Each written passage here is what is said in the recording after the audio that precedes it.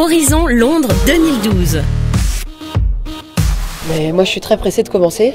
Hein. Euh, a- personnellement, euh, je sens que j'ai du jus parce que ça fait un petit bout de temps. On a un peu coupé après euh, la victoire contre la Russie de 2-3 jours, euh, ce qui a fait que je me suis bien ressourcée et là, euh, pressée que la compétition commence.